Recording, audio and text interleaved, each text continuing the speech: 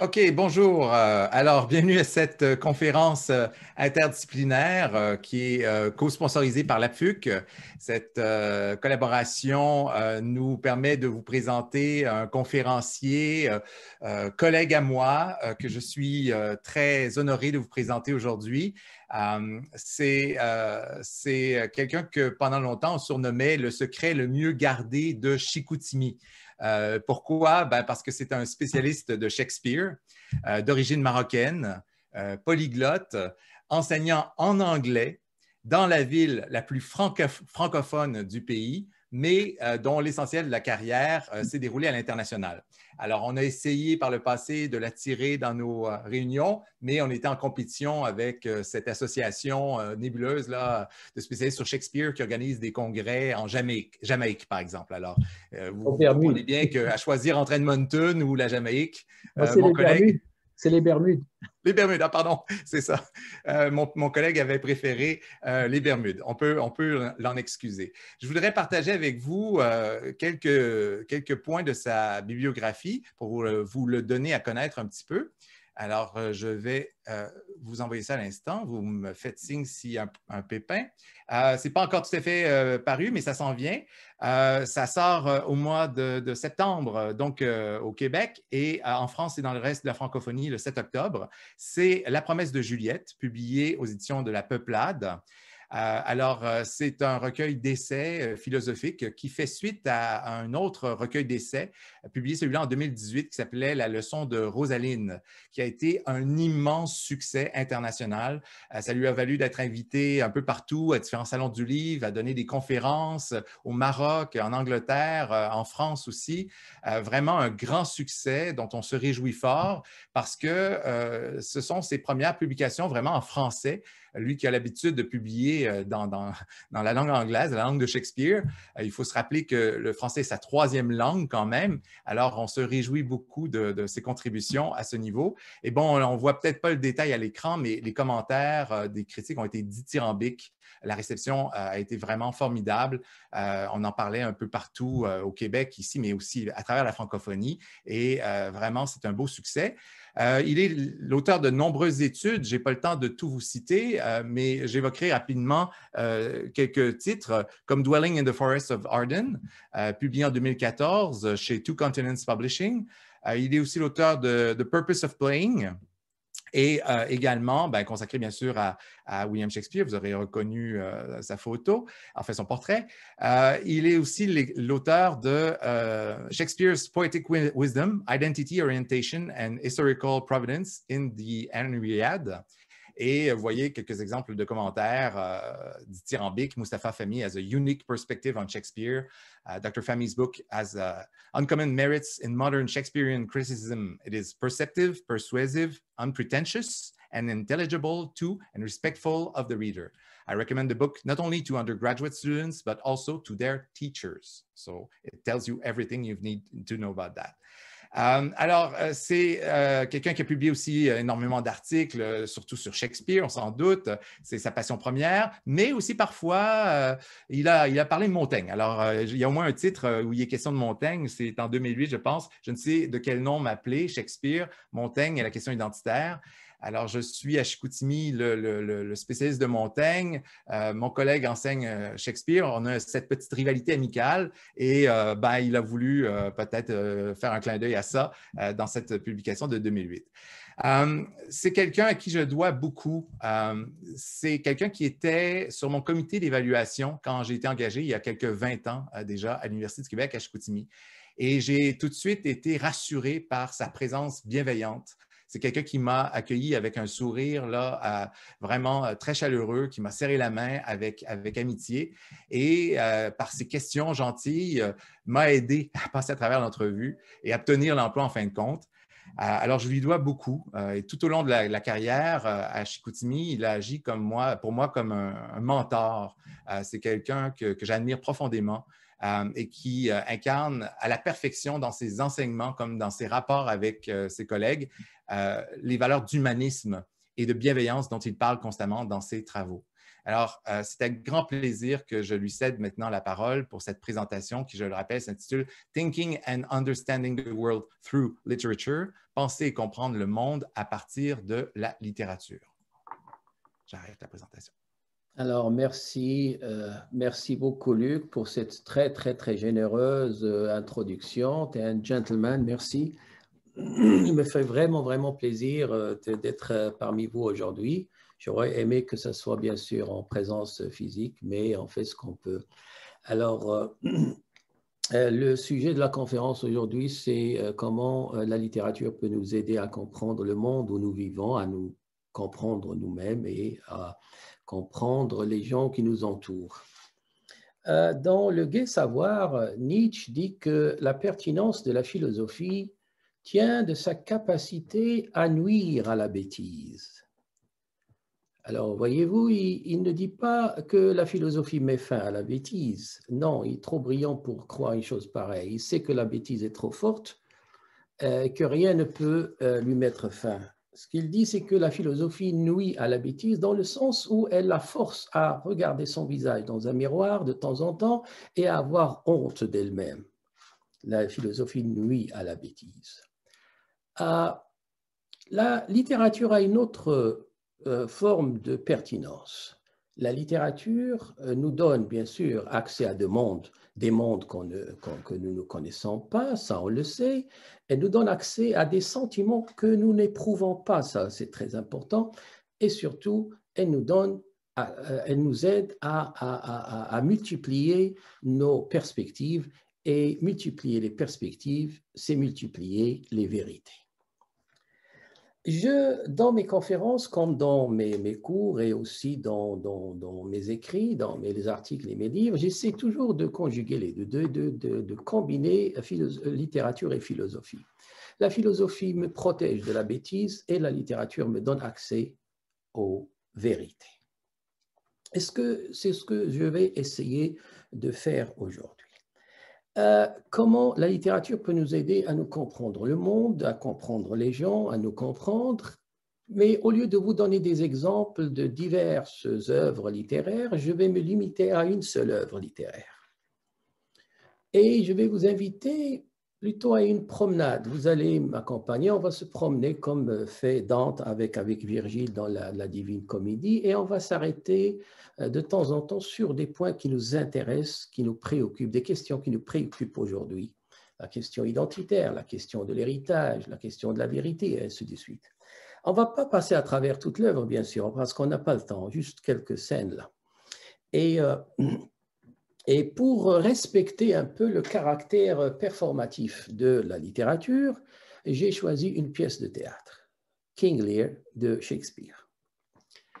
Euh, King Lear est l'histoire d'un vieux monarque britannique qui décide à la surprise générale de diviser son royaume entre ses trois filles, Goneril, Regan et Cordelia.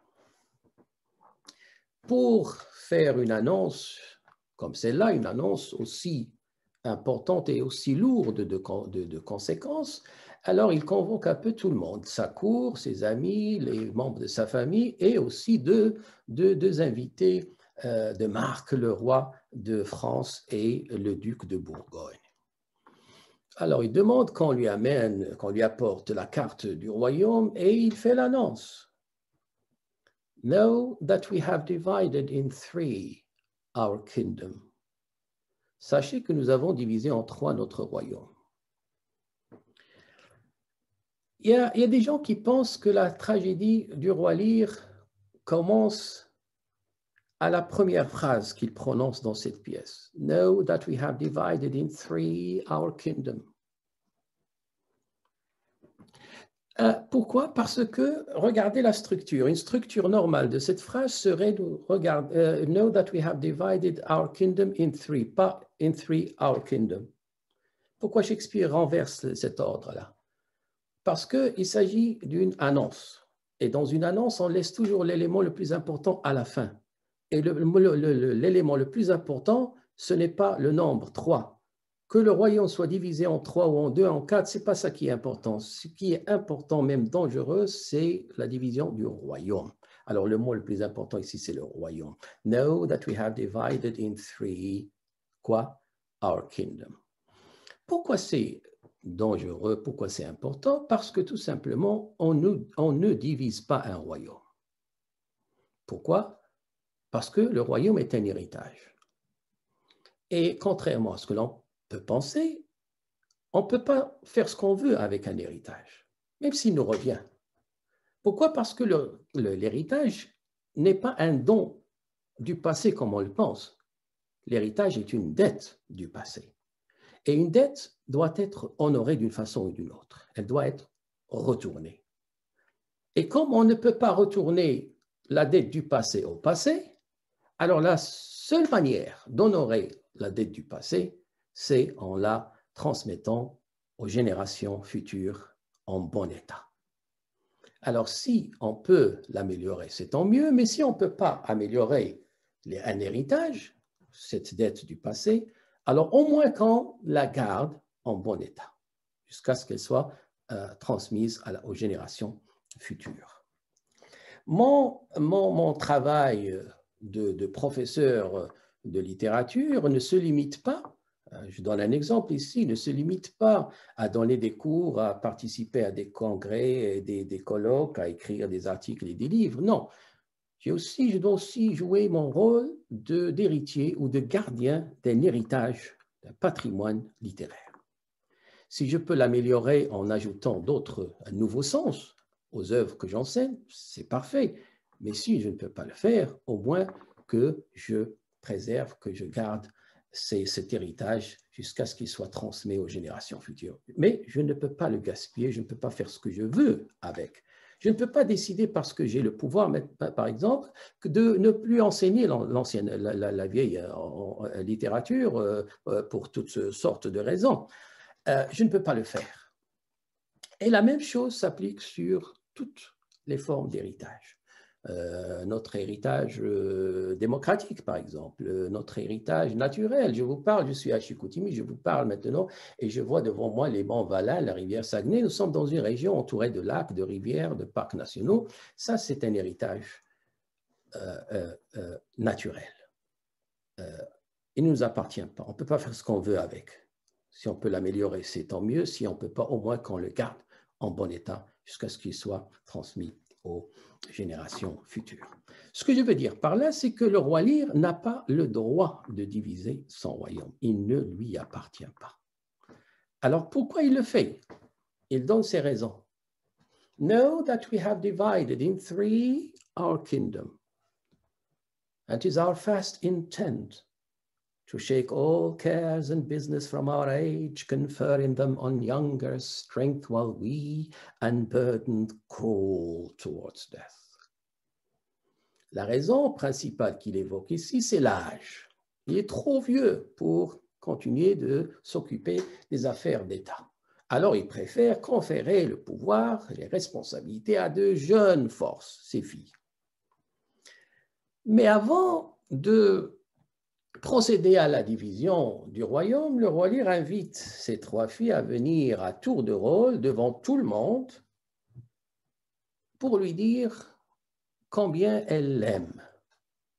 Alors venez devant tout le monde, dites-moi combien vous m'aimez, et là je vais vous donner la part du royaume qui reflète votre amour.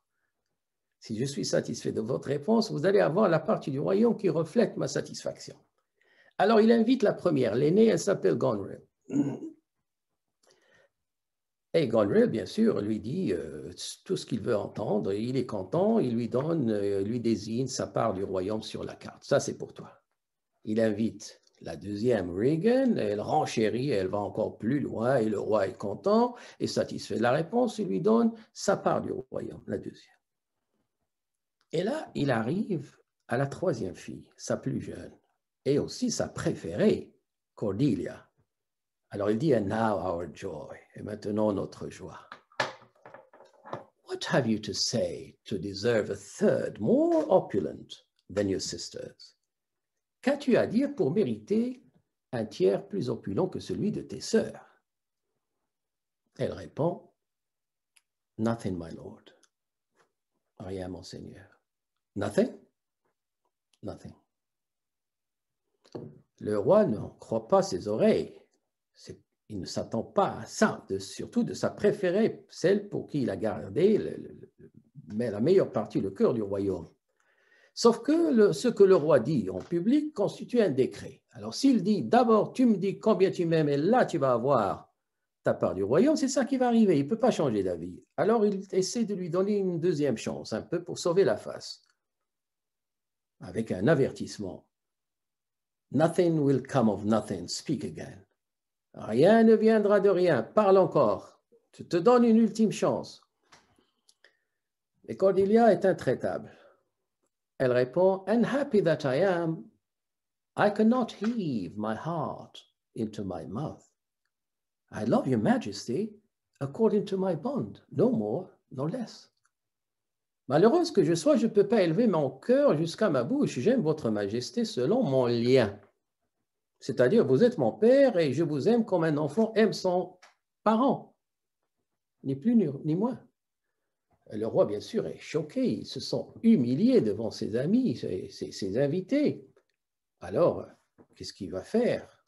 Il dit à sa fille, So young and so untender, si jeune et si peu tendre.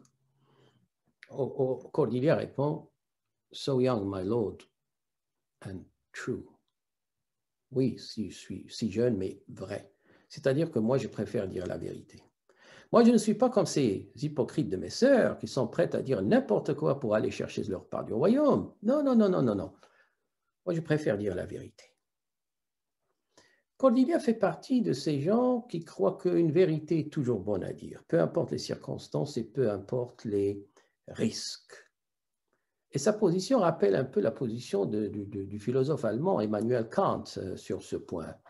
Selon Kant, pour qu'une chose, pour une action soit euh, bonne, il faut qu'elle s'inscrive à l'intérieur de la morale universelle. C'est-à-dire que avant que je fasse quelque chose, avant de faire quelque chose ou de dire quelque chose, il faut, faut, il faut toujours poser la question, toujours se demander Qu'est-ce qui arriverait à la communauté humaine si tout le monde faisait comme moi? Ah, Et pour euh, Kant, il faut, on n'a pas le choix de dire la vérité. Il faut dire la vérité, peu importe les circonstances, même si cette vérité euh, euh, peut nuire à d'autres ou mettre même leur vie en danger. Pourquoi? Parce que si on se met tous à mentir chaque fois euh, qu'il y a une bonne raison de le faire, qu'est-ce qui va arriver? C'est que les gens vont cesser de croire euh, les uns aux autres et c'est toute la structure morale de la société qui va euh, s'effondrer. La, position de Kant est extrême, bien sûr, et la société qu'il a en tête est une société impossible. Une société sans mensonge, c'est une société utopique, impossible, elle n'existe pas. Euh, et, c'est un peu euh, euh, la position de, Cordelia. Pourquoi Cordelia tient-elle à cette vérité? Surtout que sa vérité ne répare aucun tort, ne soulage aucune conscience. C'est juste la vérité parce qu'elle doit dire la vérité. La position de Cordelia divise un peu les, lecteurs de la pièce en deux clans. Alors, il y a ceux qui admirent son honnêteté euh, son refus de jouer à ce jeu ridicule, il faut le reconnaître, ce, jeu que, son père est en train de faire est vraiment ridicule et insultant même. Euh, et l'autre camp déplore euh, son inflexibilité, parce qu'après tout, pourquoi, pas pourquoi ne pas le faire, ne serait-ce que pour faire plaisir à son, à son père. Mais ce que cherche Shakespeare ici, ce n'est pas de célébrer ou de condamner Cordelia, c'est pas ça du tout. Ce qu'il veut, lui, euh, Shakespeare, c'est de poser une question très importante. Et la question est la suivante. Notre obligation de dire la vérité est-elle notre seule obligation? Nous avons tous l'obligation de dire la vérité, mais est-ce qu'il y a des circonstances?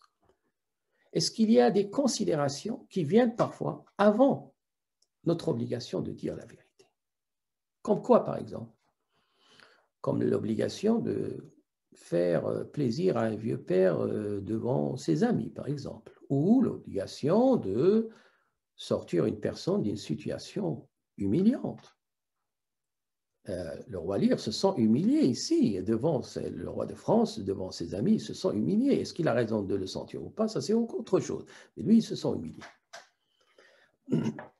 Dans une des phrases que je considère comme les, phrases, une des phrases les plus nobles de toute la, philosophie occidentale, Nietzsche se demande qu'est-ce qu'il y a de plus humain? C'est quoi la chose la plus humaine? Et il répond épargner la honte à quelqu'un. Qu'est-ce qu'il y a de plus humain? Épargner la honte à quelqu'un. On peut ici remplacer honte par humiliation. Euh, ce n'est pas parce que les deux notions sont souvent euh, utilisées pour euh, signifier la même chose, c'est pas ça, elles sont complètement différentes. Mais parce qu'il est aussi humain d'épargner à quelqu'un l'humiliation que de lui épargner la honte. La honte, c'est quelque chose qu'on peut éprouver tout seul, sans que personne s'en rende compte. Je peux me rappeler d'une décision ou de quelque chose que j'ai fait dont je ne suis pas fier du tout et je peux me sentir honteux, sans que les, les autres autour de moi le sachent. L'humiliation, c'est différent. L'humiliation, elle vient toujours des autres. Et elle est toujours accompagnée par un sentiment d'injustice, de l'idée que ce qu'on nous inflige physiquement ou moralement est injuste. Une humiliation ne peut pas être juste. Même les pires criminels, ceux qui encourent les, châtiments les plus sévères, ne mérite pas d'être humilié. Punir, c'est condamner le crime par le biais de celui qui le commet. Et c'est pour ça qu'il y a différents euh, degrés de punition reflétant la nature et la gravité du délit. L'humiliation, c'est autre chose. Humilier quelqu'un, c'est lui enlever ce qu'il y a de plus fondamental, son humanité. Mais lorsqu'on dit que l'humiliation vient des autres, cela ne veut pas dire que l'humiliation est toujours intentionnelle. Non, on peut humilier une personne en voulant lui faire du bien, ou tout simplement par inadvertance. Mais cela ne change absolument rien dans la façon dont l'humiliation est ressentie par celui qui la reçoit, qui est le sentiment d'injustice. Je ne mérite pas ça. Et c'est ça que que, le roi Lear éprouve à, cet instant devant ses amis, ses, amis, ses amis, ses invités, ses, euh, sujets aussi. Alors sa réaction, la réaction de Lear est vraiment, vraiment excessive. Il décide tout simplement de bannir euh, euh, Cordelia et de revoir ses plans. Il bannit Cordelia, il divise le royaume en deux. Pardon il divise le royaume en deux entre euh, euh, ses deux filles, euh, Gonril et Regan. Et, encore, il a des, conditions encore. Alors, il leur donne le, royaume, mais il garde le titre de roi. Et avec ce titre, il garde le, son chevalier pour l'accompagner là où il va, pour, quand il sort à la chasse, quand il voyage, et ainsi de suite. Et la troisième condition, c'est qu'il ne veut même pas garder une résidence royale, il préfère euh, vivre avec ses filles parce que justement, il, est vieux et il veut passer les derniers jours avec ses filles, il veut euh, qu'elles prennent soin de lui. Et ses filles euh, acceptent. Alors, immédiatement, il va s'installer chez sa fille Gonry, la fille aînée, avec, dans son château, avec ses 100 chevaliers. Euh, Luc, je te demande, est-ce que ça va, tout ce que ça va, est-ce qu'on m'entend bien? Oui, oui, on t'entend très bien, pas de problème. excellent, merci.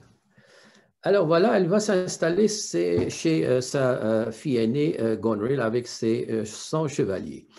Mais avant que le premier mois euh, vienne à terme, et le roi Lear commence à, remarquer des changements, un certain changement dans la façon dont les, gens le traitent. C'est-à-dire qu'on ne le traite plus comme un roi, on ne le traite plus avec le même respect, la même euh, révérence. Euh, et un jour, il fait appel au service d'un des intendants de sa fille, un type qui s'appelle Oswald, et Oswald l'ignore complètement et quitte les lieux comme ça sans donner d'explication. Alors le roi est insulté, alors il demande qu'on le rappelle immédiatement. Alors appelez-moi cet esclave, ce chien-là, je vais lui montrer, moi, à lui apprendre les bonnes manières. Alors on rappelle euh, Oswald, il vient devant le roi et le roi le confronte et il, You sir, come hither, sir. Who am I, sir? Il pose une question simple à Oswald, à ce domestique. Qui suis-je? Pour le roi Lear, il n'y a qu'une seule réponse possible à cette question. Vous êtes le roi.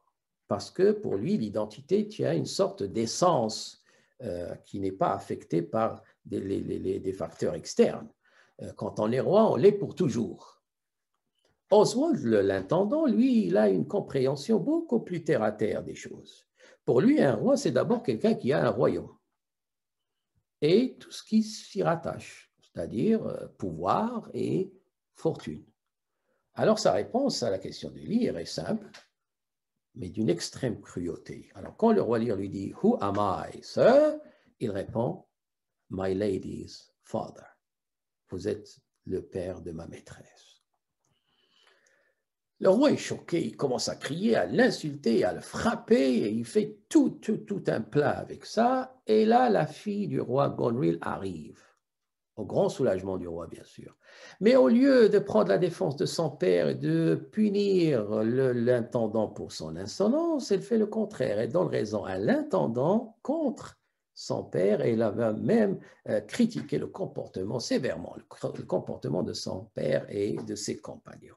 Et là, le roi Lyre ne comprend plus rien de ce qui se passe autour de lui. Il tourne autour et il pose cette question d'une clarté, d'une brutalité euh, incroyable. Il, il dit, Who is it that can tell me who I am?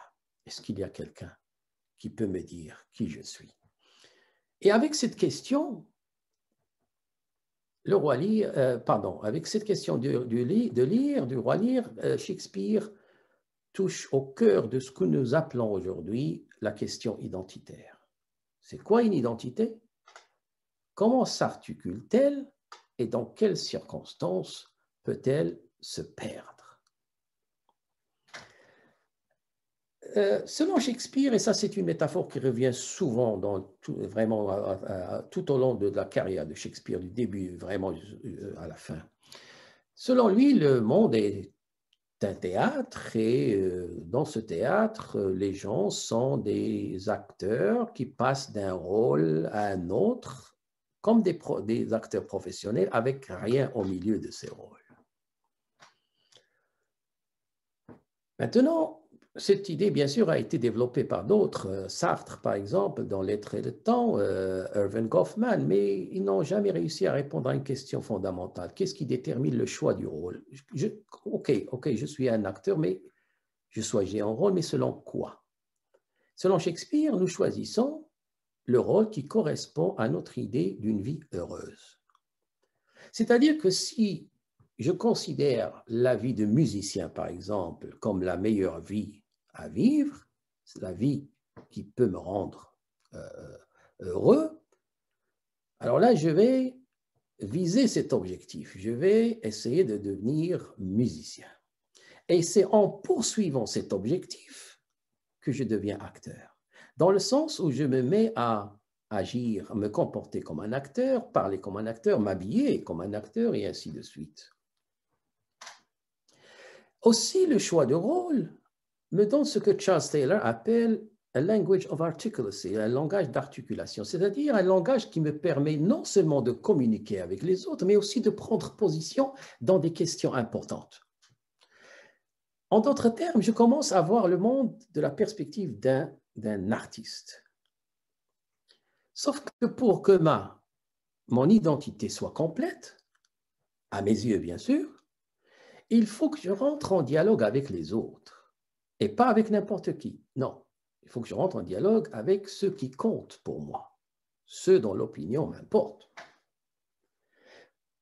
Il est important que les personnes qui comptent pour moi reconnaissent le rôle que j'ai choisi de jouer. Parce que si ils ne le reconnaissent pas, ou s'il se montre indifférent vis-à-vis de ce qui m'anime, de ce qui me donne l'impression de vivre une vie intéressante, ce qui va arriver, c'est que je vais tout simplement commencer à douter de moi-même. Je peux même, cela peut causer une crise d'identité chez moi. En d'autres mots, nous vivons une crise d'identité lorsque les personnes qui comptent pour nous ne nous voient pas comme nous nous voyons nous-mêmes, c'est-à-dire ils ne reconnaissent pas le rôle que nous avons choisi de jouer dans le théâtre de la vie. En d'autres mots, mon identité, ce n'est pas ce que je suis, ça je ne le sais pas. Mon identité, c'est ce que je veux être. Mais cela ne veut pas dire que je suis libre de choisir le rôle que je veux. Non, ma liberté se limite à ma capacité de choisir parmi les rôles que, la société m'offre. Chaque société ouvre des possibilités de rôle à ses membres et en ferme d'autres. Alors aujourd'hui, ma société me donne le choix de jouer le rôle de, musicien, de politicien, euh, de penseur ou d'influenceur. Mais je ne peux pas jouer le rôle de chevalier. Cette possibilité est fermée. Maintenant, qu'est-ce qui arrive si je persiste, si je m'obstine à jouer le rôle de chevalier? Ce qui va arriver, c'est qu'on va rire de moi ou on va me prendre pour un fou. Parce que euh, euh, euh, jouer un rôle non reconnu par la société, c'est rompre le dialogue avec les autres, ou au moins le rendre difficile. alors, ici, le, roi Lyre,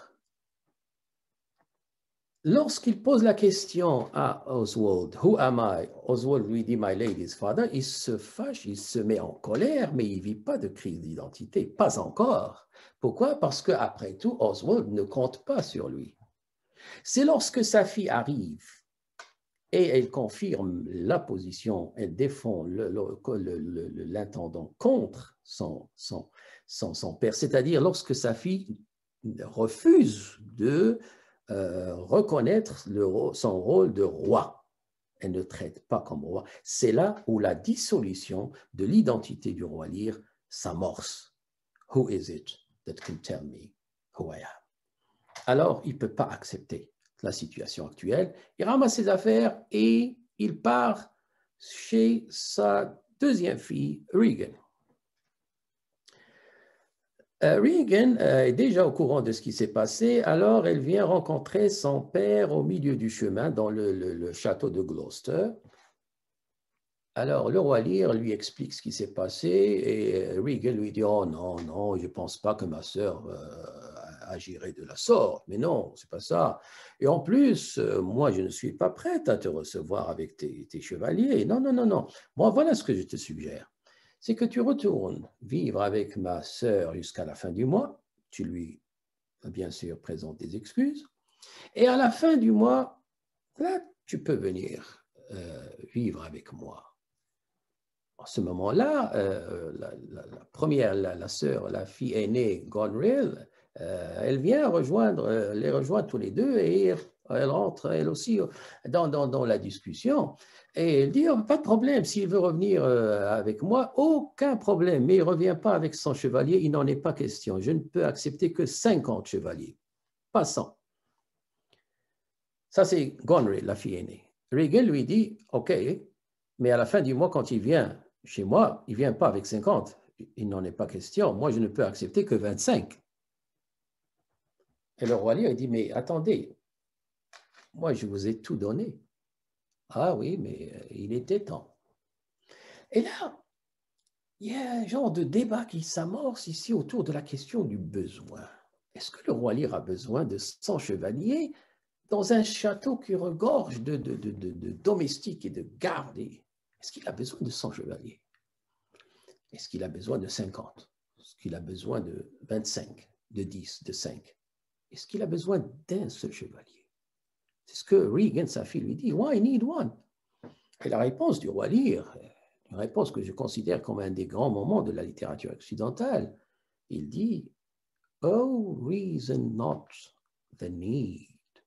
Oh, ne raisonnez pas le besoin. Selon le roi Lyre, on ne peut pas raisonner ou calculer le besoin. Pourquoi? Oh, reason not the need. Our basest beggars are in the poorest things superfluous. Allow not nature more than nature needs. Man's life is as cheap as beasts. Thou art a lady. If to go warm or gorgeous, why? Thou needest not what thou gorgeous wearest would scarcely keep thee warm. Ce que le roi Lyre est en train de dire ici, c'est que on ne peut pas calculer ou raisonner le besoin pour une question, pour une raison simple. C'est que si on le fait, notre vie va être réduite à une vie d'animal. Parce que même le mendiant, le pauvre mendiant qui vit dans la rue, même le pauvre mendiant a dans sa pauvreté quelque chose dont il n'a pas besoin. On les voit dans les grandes villes du monde entier.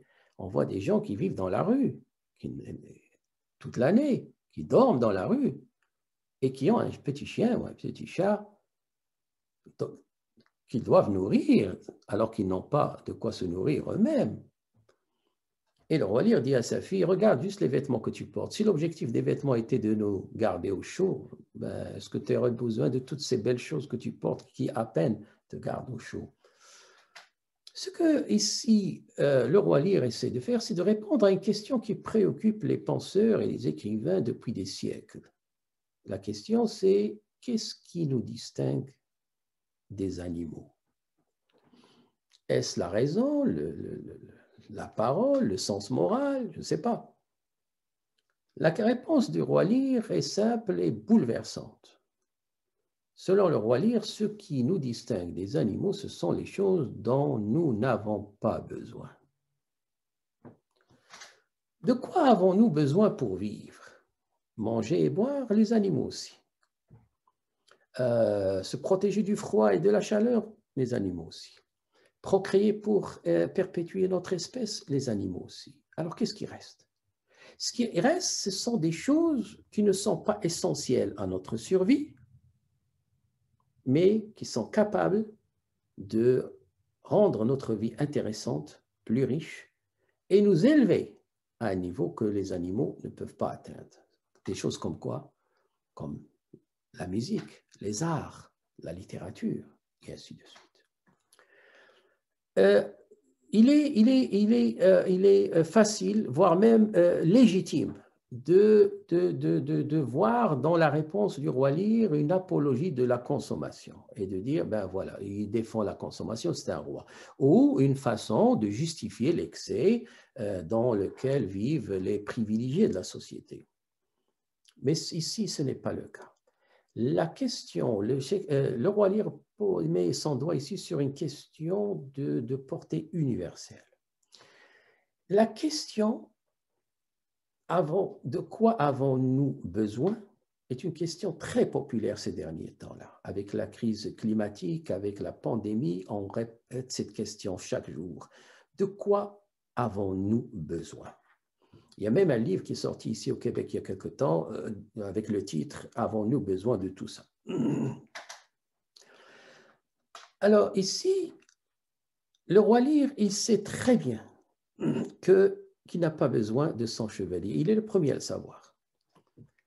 Ce qu'il faut tirer vraiment, vraiment, conclure de sa réponse, c'est qu'un argument basé strictement sur le principe du besoin est un argument fragile. Et la question avons-nous besoin de ça est une question légitime, même raisonnable, mais si on la pousse très loin, elle peut être dangereuse. Pourquoi? Parce qu'elle peut souffler sur son passage euh, tout ce que euh, tout ce qu'il y a de beau, euh, tout ce qu'il y a de transcendant que, que, que, l'humanité a réussi à, à, construire ou à ériger.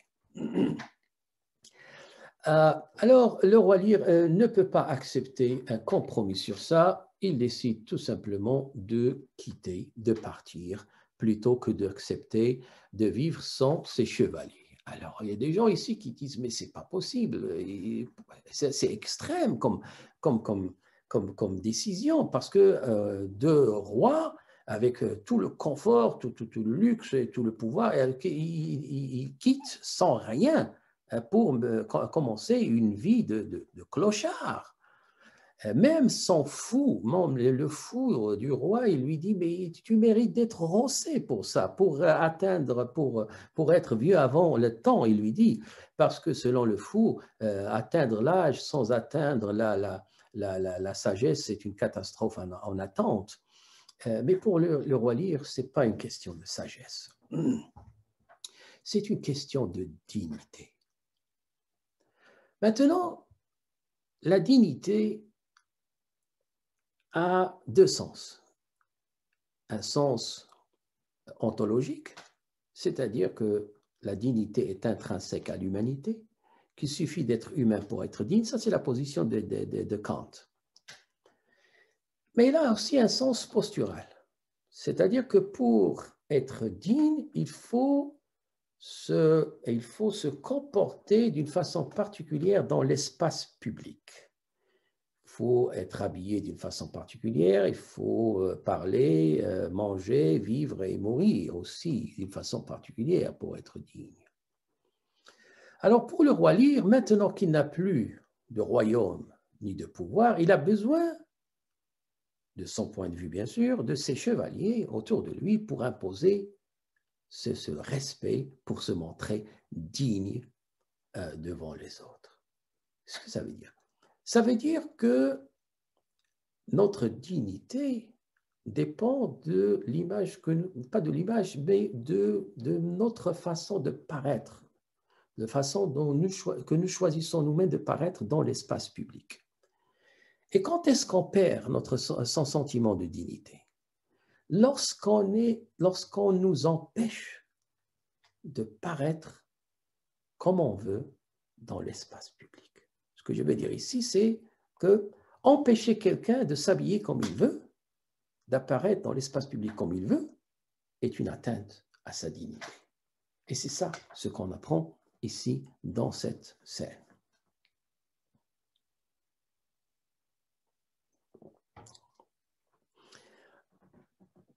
Alors, le roi Lyre euh, euh, quitte, euh, il part avec son fou et un vieil ami et comme si ce n'était pas assez, il y a un orage qui éclate d'une violence euh, absolument euh, rare. Et, ces gens-là euh, sont habitués à une autre vie. Le roi est trop vieux pour ça, mais c'est le choix qu'il a fait. Et au moment où ils sont en train de marcher vers nulle part et de subir cette, terrible tempête, ce terrible orage, euh, ils tombent, alors là, les trois, ils tombent sur une genre de, sorte de hutte, un genre d'abri. Et là, on demande au roi de, de, rentrer pour se cacher, pour se protéger de cette température extrême. Mais le roi hésite, il dit non, non, non, allez-y, allez-y, euh, je préfère rester. Il veut encore rester dehors, sous l'orage, la pluie. Pourquoi il veut rester encore dehors? Parce qu'une pensée vient de lui traverser l'esprit. Une pensée pour qui? Une pensée pour tous ceux et celles qui vivent cette situation tout le temps. C'est-à-dire des gens qui vivent sans abri, qui ont toujours froid ou toujours chaud, qui ne mangent jamais à leur faim, qui n'ont aucune protection. Et là, il dit, mais comment ça se fait que je n'ai jamais pensé à ces gens-là? Et pourtant, j'ai été roi. Et un roi est censé prendre soin de ses sujets, surtout les plus vulnérables. Comment ça se fait que je n'ai jamais pensé à ces gens-là? Et là, le roi Lyre s'ouvre à tous les misérables, là où ils sont, à toute l'humanité. C'est-à-dire qu'au lieu de se lamenter sur son sort, comme le font plusieurs rois déchus dans dans l'œuvre de Shakespeare, par exemple le roi euh, Richard II, lorsqu'il perd quand, il apprend que son, royaume est perdu, qu'est-ce qu'il dit à ses compagnons? For God's sake, let us sit upon the ground and tell sad stories of the death of kings. How some have been deposed, some slain in war, etc. C'est-à-dire, dans sa misère, le roi Richard II pense à la misère des autres rois déchus, pas le roi Lear.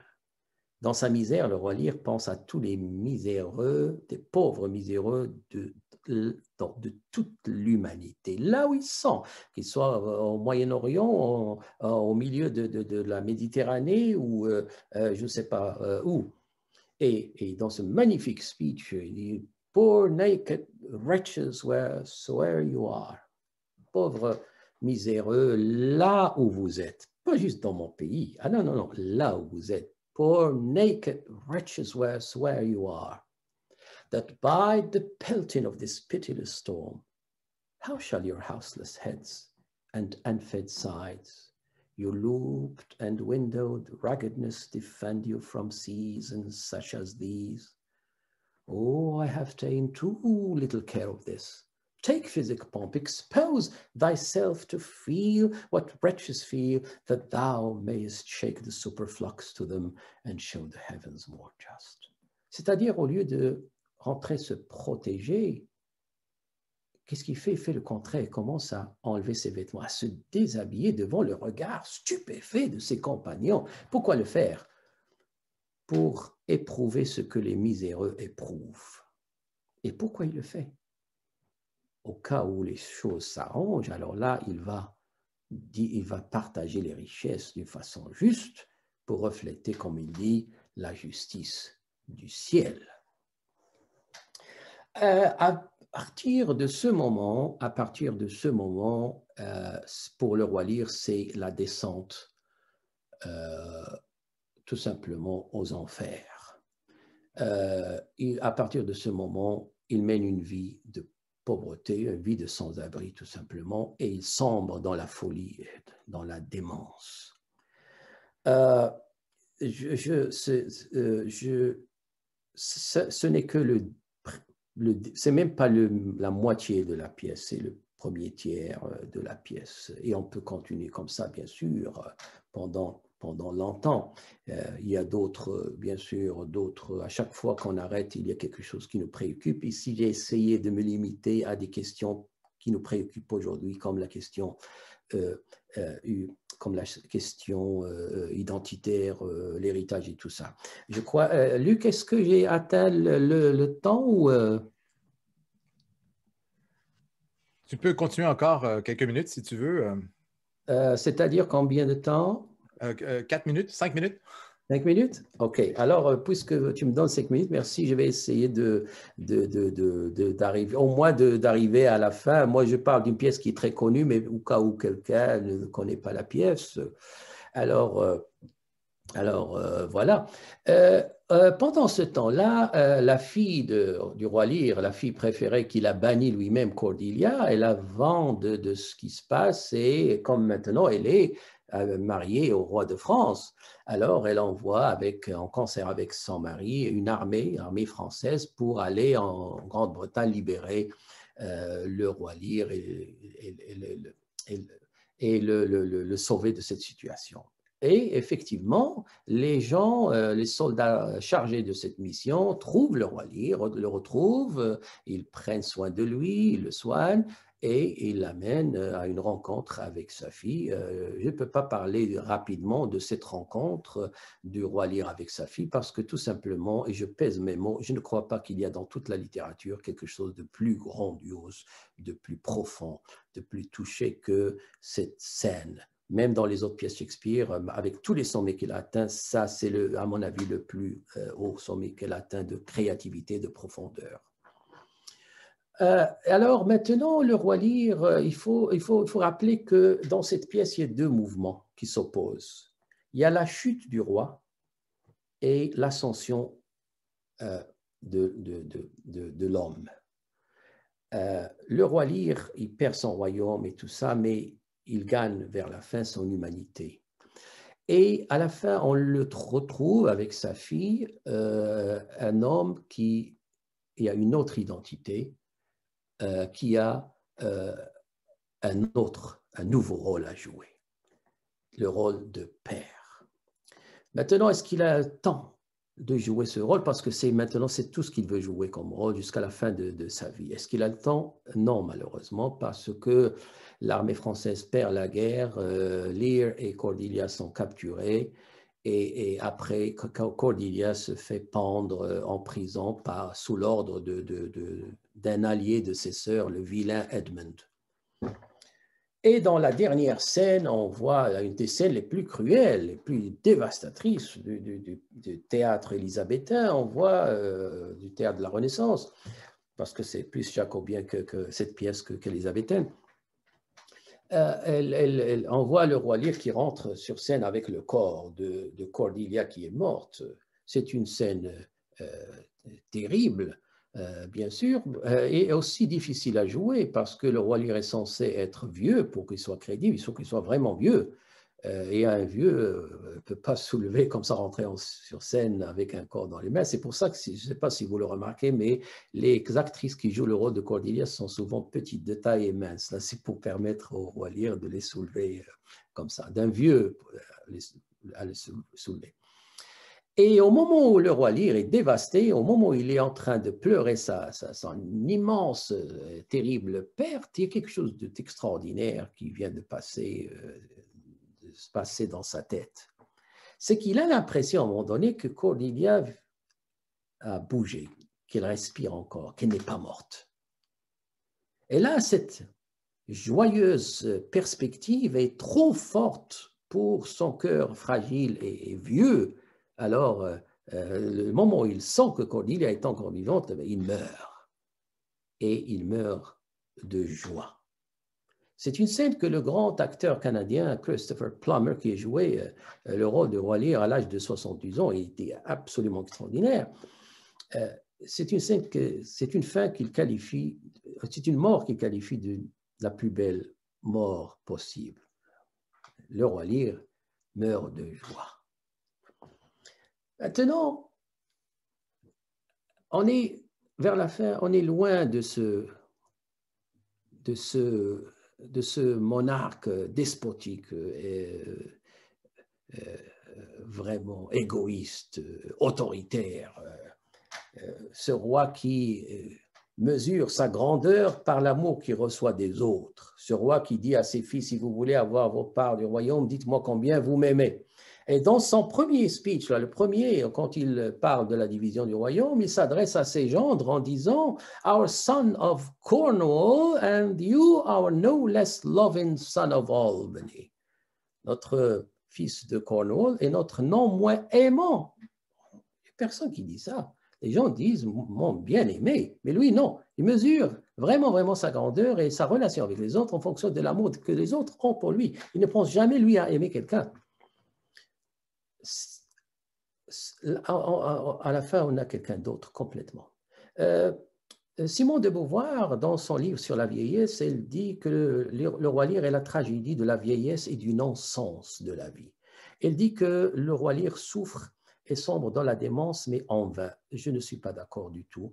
Au contraire, je crois que c'est la tragédie d'un roi, d'un roi qui devient un homme. À la fin, le roi Lear, c'est vrai qu'il a souffert, mais il est plus euh, sage, plus humble.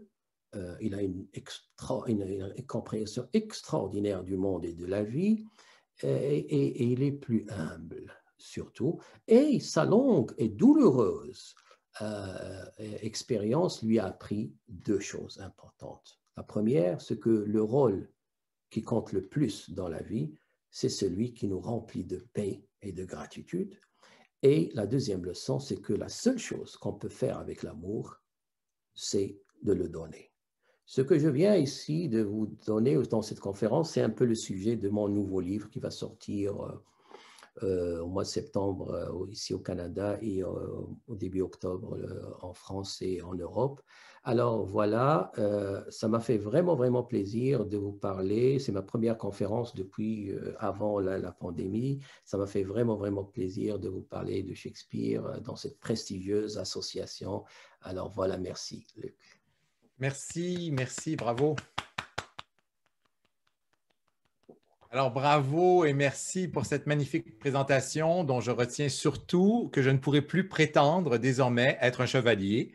Alors, j'ai bien compris, cette option désormais est fermée, c'est entendu. Euh, mais plus sérieusement, euh, j'ai retrouvé avec bonheur euh, vos dadas que je connais bien, les questions d'identité, les questions de dignité. et c'est un bonheur de vous entendre parler du roi Lyre comme ça, de, de le citer avec cette mémoire exceptionnelle que je vous envie, chers collègues. Et j'ai déjà des commentaires. Euh, Diane Desrosiers euh, dit euh, avec force exclamation Quel grand homme Merci. beau témoignage d'appréciation. Je vous rappelle que notre collègue est polyglotte, alors vous pouvez lui adresser vos questions en, arabe, en français ainsi qu'en anglais. ça ne représente aucune difficulté pour lui. alors, n'hésitez pas soit à demander la parole à travers le micro, bon, en, demandant en levant la main d'abord, euh, à prendre le micro ou encore à poser vos questions à travers euh, la fenêtre de chat. Je vais être attentif euh, donc à ce qui se passe de ce côté. Je regarde ce qui est là.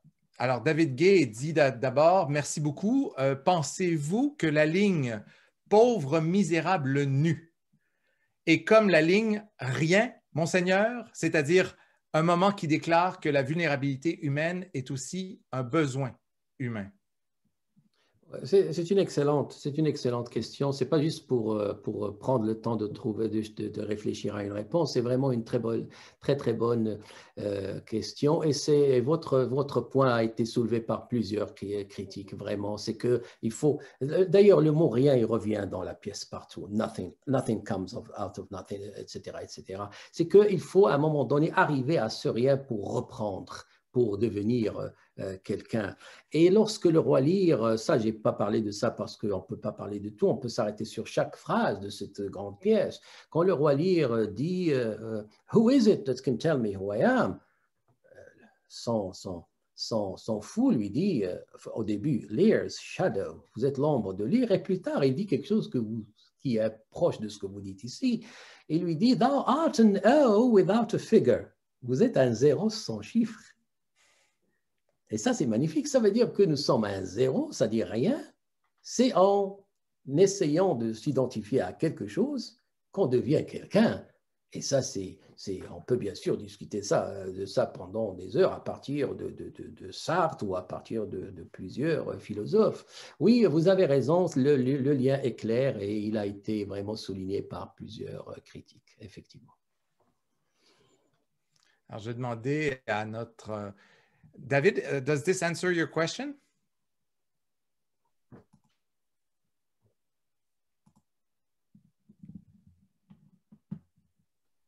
Pardon, pardon me. Uh, yes, very much so. Merci beaucoup. Okay, thank you. Thank you, David. OK. Euh, pendant que d'autres personnes formulent peut-être par écrit euh, leurs questions, sinon faites-moi signe, hein, je peux vous allumer votre micro euh, comme je viens de le faire pour euh, David. Alors, je ne suis pas sûr toujours de maîtriser la, technique. Je vais permettre à tout le monde de parler spontanément. Alors, si vous avez une question, vous êtes désormais autorisé euh, à parler. Donc, n'hésitez pas à le faire, à allumer votre micro. Sinon, euh, j'en ai une un peu générique, mais euh, qui est d'actualité, je pense. dans le contexte où l'on appelle à la censure de Shakespeare désormais, parce que trop sexiste, parce que raciste, parce que toutes sortes de raisons, Êtes-vous pessimiste face à l'enseignement de la littérature, de votre discipline? Euh, ben, je sais, parfois je suis inquiet, parfois je me dis non, ça va passer, parce que je crois qu'il y a des gens qui poussent vers l'extrême juste pour aller chercher à la fin, euh, je sais pas, une, position moyenne. Euh, oui, ben, j'écris un texte un peu sur ça, parce que oui, c'est un peu inquiétant. Euh, parfois d'entendre qu'il y a des, euh, surtout aux États-Unis, des, collèges, euh, des écoles qui ont décidé tout simplement d'exclure Shakespeare et de le remplacer par des, auteurs contemporains provenant de, communautés opprimées.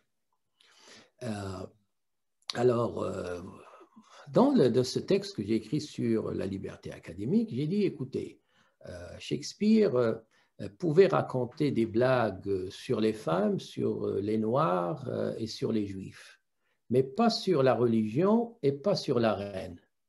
Aujourd'hui, au Canada, on peut raconter des blagues sur la religion et la reine, mais pas sur les femmes, les, les noirs et les juifs. C'est complètement le contraire. Est-ce que ça veut dire que nous sommes plus libres que les contemporains de Shakespeare Peut-être, mais pour le savoir, il faut soumettre nos critères de jugement, tous les deux, respectivement. Euh, il, faut, euh, il, faut, pardon, il faut soumettre nos valeurs respectives à des critères de jugement neutres complètement et libres de tout perspectivisme et de toute interprétation, ce qui est tout simplement impossible. Chaque culture a ses limites qu'il ne faut pas franchir et chaque culture a ses vilains et ses autres. Maintenant, la grandeur de Shakespeare, c'est que il a écrit à l'intérieur d'une culture, très très contraignante. Il savait qu'il pouvait pas glorifier, par exemple, euh, les, enfants euh, illégitimes, les bâtards. Il pouvait pas le faire. Il pouvait pas glorifier un juif dans une société euh, où les juifs étaient considérés comme des vilains. Mais qu'est-ce qu'il a fait? Et ça, c'est sa grandeur. C'est que du début jusqu'à la fin, il sait qu'à la fin, il ne peut pas donner raison à ces gens-là parce que sinon la pièce ne sortira pas. Euh, impossible, la censure va l'arrêter. Mais entre le milieu et la fin, il a donné une voix humaine, profonde, convaincante aux Juifs. Lisez le speech de Shylock quand il dit pourquoi pourquoi on me déteste euh, euh, lisez-le, vous allez voir, personne avant Shakespeare n'a donné une voix aussi humaine, aussi convaincante, aussi profonde à un juif. Euh, lisez les, les, les, les, les speeches de Edmund dans King Lear, dans, de, de, de, dans, dans, John dans Much Ado About Nothing. et les femmes, c'est Shakespeare maintenant, on dit que les pièces de Shakespeare euh, contiennent des, des, des, euh, euh, des, trucs sexistes et ainsi de suite. Ok. Il ne faut pas confondre quelque chose, une réplique d'un personnage il ne faut pas la, confondre avec la position du, de l'auteur, surtout lorsqu'il s'agit de Shakespeare. Pourquoi? Parce que chez Shakespeare, chaque position a son contraire. Toujours, chaque perspective a son, son, contraire. Et euh, ce que je trouve absolument euh, euh, fascinant, c'est que les gens qui croient que ce n'est pas Shakespeare qui a écrit les œuvres qu'on lui attribue, et qui croient que c'est une femme, c'est quoi leur argument? Pour eux, euh, ou, c'est la reine Elisabeth Ier, ou c'est Emilia Lanier. Euh, euh, c'est quoi leur argument? Leur argument, c'est que ces pièces-là expriment une vision féminine de la vie, de l'amour et de la sexualité, à laquelle aucun homme n'a accès. Seule une femme a accès à ces choses-là. Alors l'auteur, le vrai auteur de Shakespeare, doit être, doit être une femme. Et là, il y a un consensus sur ça. Les femmes de Shakespeare, les personnages féminins de Shakespeare, ils ont une psychologie, euh, une profondeur et, une personnalité qui est euh, vraiment unique à son époque, bien sûr. En fait, il fallait attendre jusqu'au 19e siècle quand Jane Austen a commencé à écrire des romans et George Eliot pour trouver des personnages aussi convaincants que les personnages féminins de Shakespeare. Alors, pour revenir, c'est un sujet très, très, très euh, complexe, Luc, tu le sais. Euh, pour répondre à ta question, euh, non, absolument pas, absolument pas. Il ne faut pas exclure l'ancienne littérature, parce que ce qui fait d'un classique un classique, ce n'est pas son appartenance à une époque, au contraire, c'est sa capacité de n'appartenir à aucune époque. Moi, j'ai euh, relu dernièrement les essais de Montaigne dans l'édition que tu m'as euh, suggérée, mais quel bonheur et quelle, et quelle actualité encore. Formidable. Alors, euh, voilà. Alors, les livres, c'est comme les êtres humains, c'est-à-dire qu'ils subissent euh, la, loi de, darwinienne de, l'évolution. Et euh, la force d'un livre n'est pas euh, déterminée par le bruit qu'il fait en, arrivant au monde, mais plutôt par sa capacité à s'adapter aux, environnements qu'il rencontre dans, son évolution. C'est pour ça que les, les classiques sont forts, parce qu'ils ont traversé justement ces époques. Voilà. Merci pour cette belle réponse. Est-ce qu'il y a d'autres questions, des commentaires euh, de l'audience? N'hésitez pas à prendre euh, la parole, lever la main ou euh, intervenir spontanément. C'est un cadre un peu intimidant que celui du webinaire parce qu'on ne contrôle pas ces fenêtres comme d'habitude. C'est un peu des paysans. Je ne suis pas sûr moi-même d'avoir bien réactivé les micros. Espérons que c'est le cas. Sinon, de toute façon, vous aurez l'occasion de retrouver la conférence euh, du professeur Famille euh, dans euh, notre auditorium parce qu'elle a été enregistrée et dans les prochains jours, vous pourrez la visionner à nouveau. Et si jamais des questions se, pointent à votre esprit, je me charge de les relayer. J'ai le bonheur de travailler avec cet homme exceptionnel et d'avoir avec lui de très fréquentes collaborations et conversations. Donc, je pourrais, je pourrais vous renseigner avec grand, grand plaisir. Alors, euh, s'il n'y a pas d'autres questions, d'autres interventions, je tiens à remercier chaleureusement euh, le professeur Famille pour cette euh, superbe présentation. J'espère que vous avez apprécié. Moi, en tout cas, je suis très enthousiaste. Ça me donne envie de lire La promesse de Juliette, qui sort sous peu. Euh, j'ai déjà beaucoup aimé euh, sa, petite sœur. Euh, et vous aurez reconnu des références à Shakespeare, bien sûr, dans les titres. Ce n'est pas, pas un hasard, ce n'est pas accidentel. tout est lié à Shakespeare dans le travail de, de Mustapha Fahmy. et il a cette passion qu'il sait si bien communiquer, comme vous avez pu le constater vous-même aujourd'hui. Alors, encore une fois, merci d'avoir assisté à cette présentation. Merci, Mustapha Fahmy. On se retrouve bientôt au boulot. Merci, merci beaucoup. C'était bravo. et un honneur. Merci beaucoup. Merci, merci, bravo. Au revoir. Au revoir.